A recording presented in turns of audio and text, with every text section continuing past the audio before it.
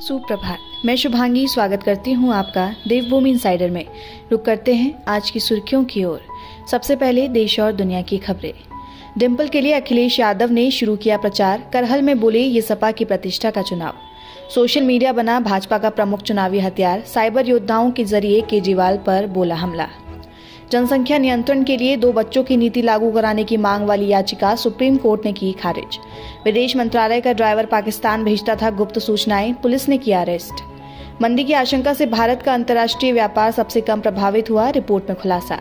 ये तो थी सुर्खियाँ देश और दुनिया की। अब बढ़ते हैं उत्तराखंड की सुर्खियों की ओर। टनकपुर में नेचुरोपैथी कैंप में पहुँचे CM Dhami mudbath therapy session का किया शुभारंभ। त्रिवेंद्र राज में दर्ज राजद्रोह मामले में सरकार वापस लेगी। एसएलपी सुप्रीम कोर्ट में दी अर्जी। शीर्ष नेतृत्व के सभी दिग्गज नेताओं को दो टूक सार्वजनिक नहीं पार्टी फोरम पर रखे अपनी बात। जबरन धर्मांतरण पर सीएम धामी का बयान, कहा, देवभूमि में ये गंभीर मामला, सख्त कानून लाने का फैसला। भारत जोड़ो यात्रा में छाई उत्तराखंडी टोपी, यशपाल आर्य ने राहुल गांधी को पहनाई।